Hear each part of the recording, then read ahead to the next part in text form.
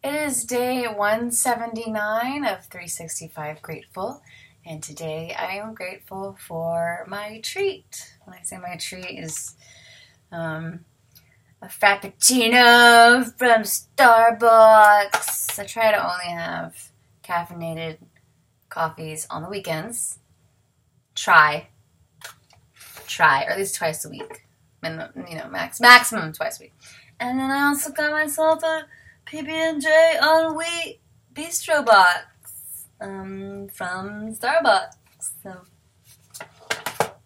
I'm grateful for that. Even though Starbucks is probably way too expensive, and I could have probably made the same thing for a whole heck of a lot cheaper.